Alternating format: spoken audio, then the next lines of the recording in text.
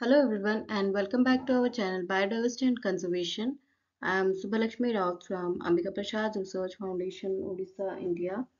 And uh, today we are going to discuss on uh, GPCR that is uh, G protein coupled receptor and their signaling.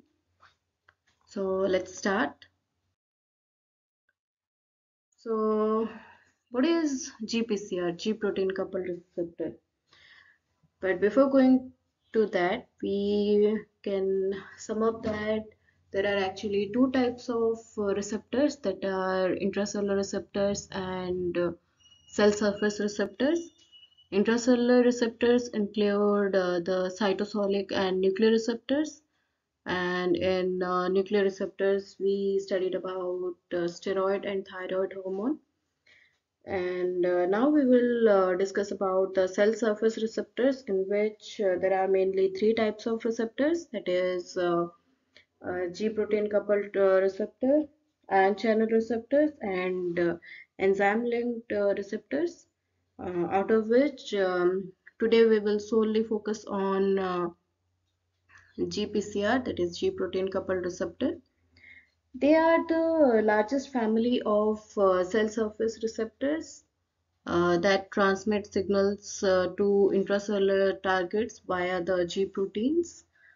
Uh, they are present in all the eukaryotic cells and um, they include the receptors um, for many neurotransmitters, neuropeptides, and peptide hormones um, the GPCR family includes a large number of uh, receptors that are responsible for uh, smell, light, and taste.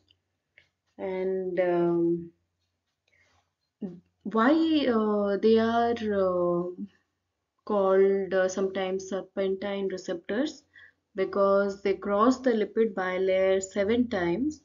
So they are sometimes also called serpentine receptors. And uh, in the G protein uh, linked receptors we also have uh, eighth helix that is alpha helix.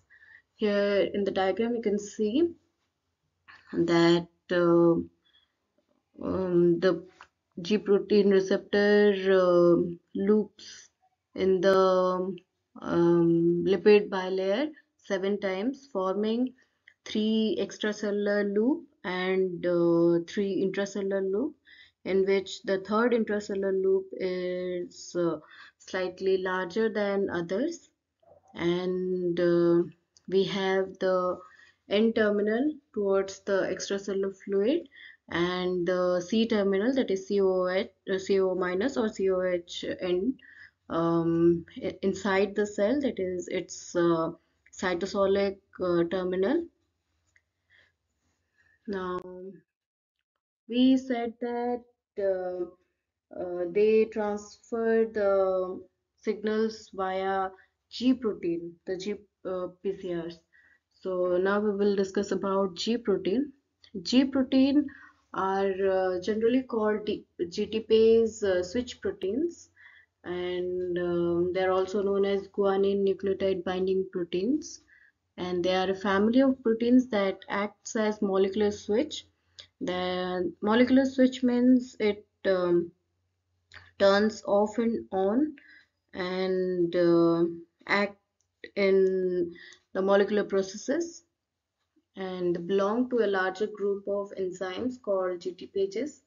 GTPases, as we know, they break, break down GTP into GDP plus inorganic phosphate so um, they are specialized uh, proteins with the ability to bind uh, the nucleotides GTP and GDP.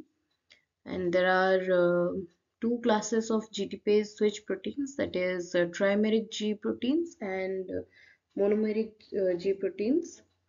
Uh, out of which the trimeric G proteins have the ability to bind with the GPCRs and um, the GPCR have uh, um, three subunit, um, an alpha subunit, a beta subunit, and a gamma subunit. And These proteins, the G proteins, are uh, turned on when uh, they bound to GTP and turned off when they bound to GDP.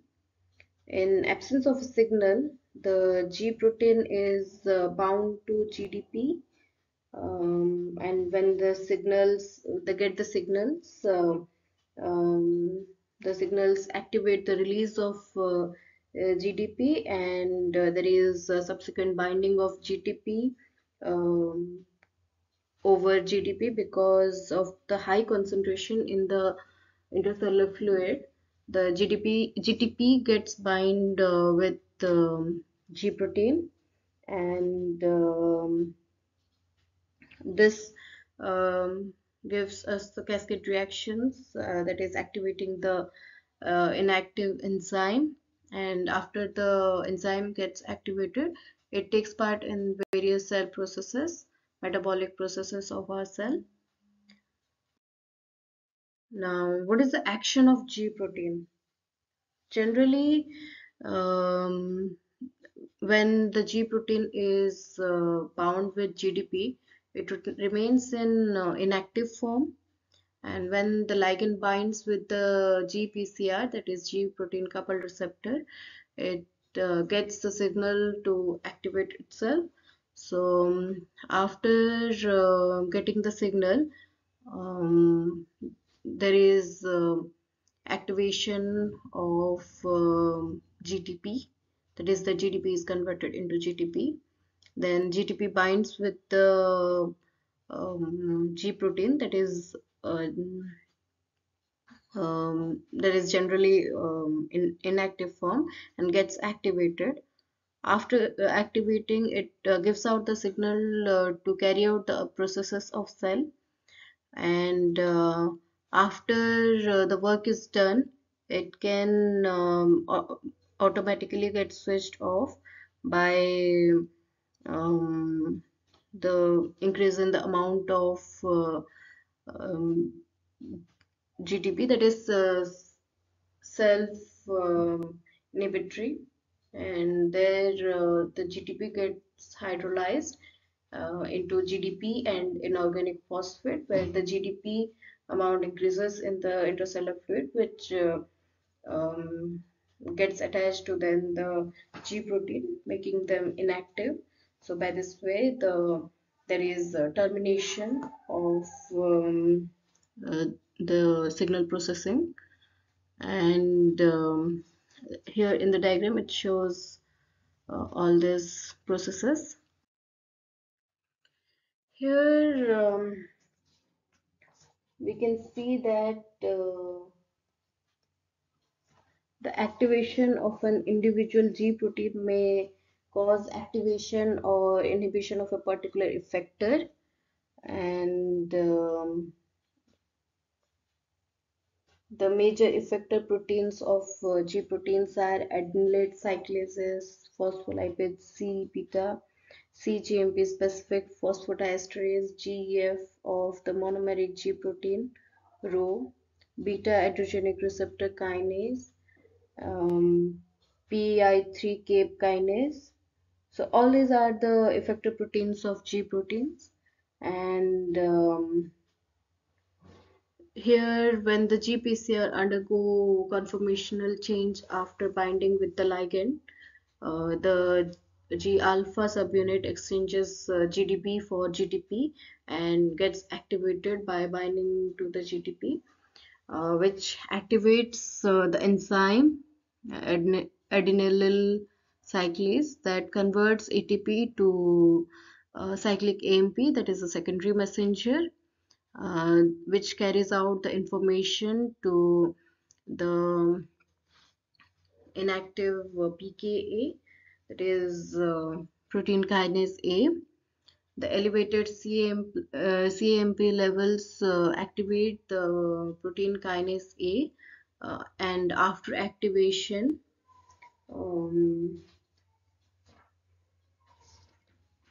there is uh, binding of cyclic AMP to the regulatory subunits um, which alters their conformation causing them to uh, dissociate from the complex, the complex which has uh, uh, two catalytic subunits and two regulatory subunits.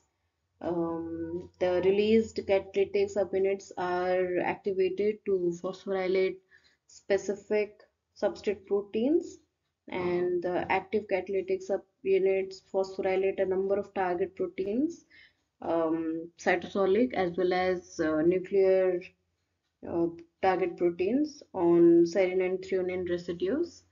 And, um, and then we get uh, all the down downstream processes uh, may it be in uh, the in case of transcription or other uh, metabolic processes of the cell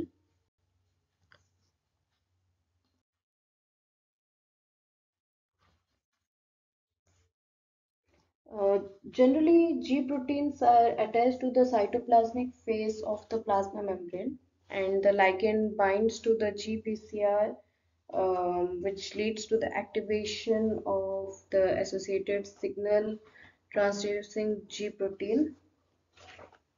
All the G proteins uh, generally consist of three subunits alpha, beta, gamma. Alpha and gamma subunits of the G protein are anchored to the membrane uh, lipids covalently, and the beta subunit is always uh, uh, in uh, in grouped with the uh, alpha subunit, forming a heterodimeric structure uh, G beta gamma. And the alpha subunit is a GTPase switch protein that alternates between an active state with bound GTP and, in, uh, and an inactive state with bound GDP. So, um, binding of the trimeric G protein to an activated receptor leads to dissociation of uh, GDP, binding of GDP to G alpha, and dissociation of uh, G alpha G uh, GTP from uh, G beta gamma. Then the GTPase activity of um, um, G alpha determines the length of time that the signal remains on. G alpha GDP then dissociates from its effector and reassociates with the G beta gamma. So all these processes carry on, but as I said, it has a built-in mechanism for signal termination. Within a short time, the G alpha subunit undergoes auto inactivation due to the GTPase activity. Uh, and in many cases, the protein termed as RGS, regulator of G protein signaling, accelerates uh, GTP hydrolysis by the G alpha subunit. Thus, the RGS proteins act as alpha subunit specific GTPase activating proteins, that is GAPs. And the alpha subunit defines the basic pro properties of a heteromeric G protein. Um, and uh, in this diagram, we can see that um, after the ligand binds with the G protein coupled receptor, um, it activates uh, the G protein where uh, the uh, G alpha subunit leaves GDP and binds with GTP and uh, it carries on uh, to transfer the uh, signals to the enzyme where it activates the enzyme and helps it to go through the downstream signaling which involves ion channels, um, either inhibition of CAMP or phospholipases, which um, takes part in the cell motility. And in some cases, like in G alpha S, uh, it increases the CAMP levels. Um, uh, GS alpha subunit actually activates the effector adenylate cyclase um, and it's called a stimulatory G protein. The GS alpha subunit binds uh, uh, and hydrolyzes GTP and activates uh, plasma membrane bound enzyme adenylate uh, um, cyclase and um adenylate cyclase is a large multipass transmembrane protein which uh, with its catalytic domain on the cytosolic side of the plasma membrane. The activated uh, adenylate cyclase synthesizes CAMP from ATP and the CAMP directly activates the CAMP dependent protein kinase that is uh, protein kinase A, PKA. It uh, also induces opening of certain types of ion channels in the plasma membrane of some highly specialized cells and uh, it catalyzes uh, um, the uh, transfer of terminal uh, phosphate group from ATP to specific um, um, target proteins, mm, thereby regulating their activity. In the inactive state, PKA consists of a complex of two catalytic subunits and two regulatory subunits that we discussed earlier. Um, after the binding of CAMP to the regulatory subunit, um, there is um, a cascade reaction um, where it uh, where the catalytic uh, subunits uh, act, uh, activated um, to phosphorylate specific substrate uh, protein molecules. And one of the major nuclear targets of PKA is the transcription factor CREB that is CAMP response element binding protein which is activated by phosphorylation and uh, phosphorylation at a single uh, serine residue greatly increases the activity of CREB bound to the um, CAMP response element that is uh, CRE which is found in genes uh, whose transcription is induced by CAMP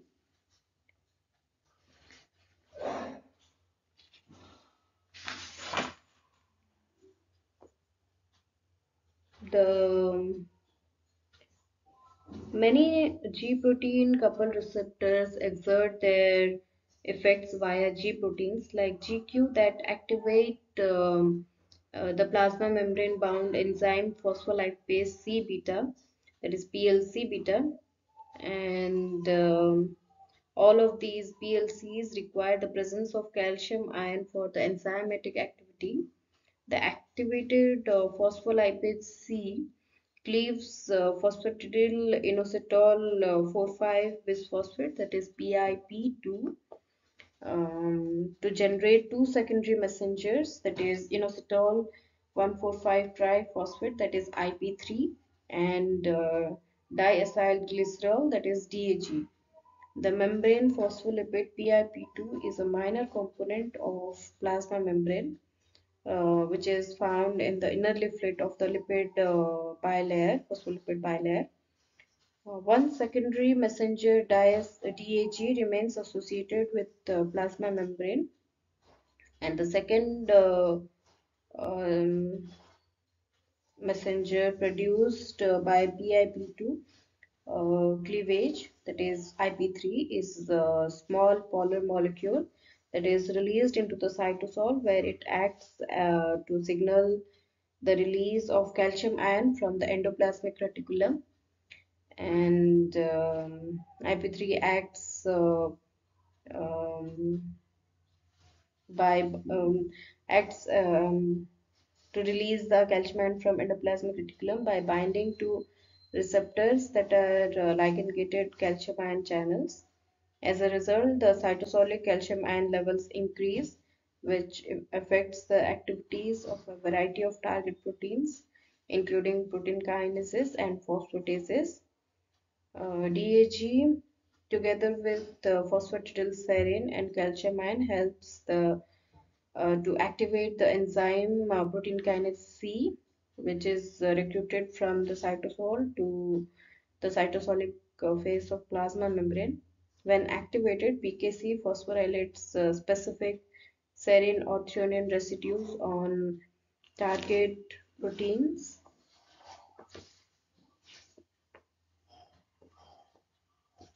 And um, the G proteins are uh, also used in um, vision also because vision depends on G protein coupled receptors that uh, regulate the cyclic nucleotide gated ion channel. Um, here, when the light um, reaches uh, the pigment that is rhodopsin, it um, gets um, changed that is there, there is a conformational change in rhodopsin which uh, causes activation of transducin which act, then activates phosphodiesterase uh, due to which uh, there is increased decreased intracellular uh, cyclic GMP and which causes closure of sodium ions uh, and channels. And there is uh, then hyperpolarization of the cells. And uh, there is uh, decreased release of uh, synaptic um, transmitter. So a number of uh, mechanisms operate in rods to allow the cells to revert quickly to a resting or dark state. And um, the decrease of uh, calcium ion concentration um, stimulates guanylyl cyclase to replenish the cyclic GMP, rapidly uh, returning its level to where it was before the light was switched on. A specific calcium ion sensitive protein mediates the activation of uh, guanylyl uh, cyclase in response to a fall of uh, calcium ion levels. In contrast to calmodulin, uh, this protein is inactive when calcium ion is bound to it and active when it is uh, calcium ion free. And uh, there is um, uh, presence of rhodopsin specific kinase, uh, serine kinase, which phosphorylates the cytosolic tail of activated uh, rhodopsin and partially inhibits the ability of rhodopsin to activate transducin. An inhibitory protein called arrestin then binds to the phosphorylated rhodopsin, further inhibiting uh, rhodopsin's activity. At the same time, as rhodopsin is being shut off, a regulator of G protein signaling, that is RGS protein, acts like GTPase activating protein, binds to activated transducin and uh, stimulates uh, the transducin to uh, get um, bound to GDP, which returns transducin to its inactive state. And um, there is also um, G proteins that, that helps in the regulation of ion channels. Uh, so a G protein called uh, G alpha 12 activates a guanine, a guanine nucleotide exchange factor GEF that activates a monomeric GTPase of Rho family which regulates the dynamics of actin's um, cytoskeleton and um, this uh, can be seen in case of uh, uh, cancer progression and uh, metastasis.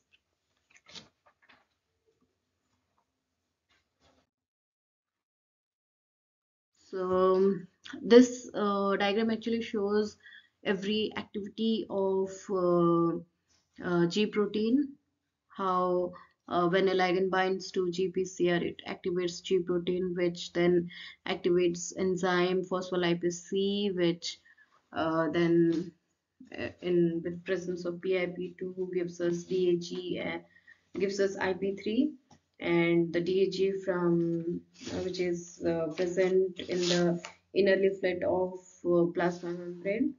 They all take part in the calcium calmodulin signaling um, and another is PKC um, how those uh, protein um, phosphorylate specific serine and threonine residues on target uh, proteins.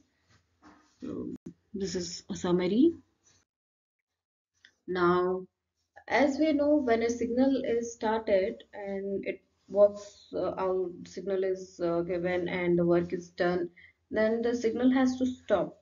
So, um, uh, there is a term called desensitization of uh, GPCRs, that is, we have to close off the uh, GPCR so that no uh, signal gets uh, conducted and the cell will not get rest. So the desensitization of the GPCR response can be described as a loss of response to prolonged or repeated stimulation.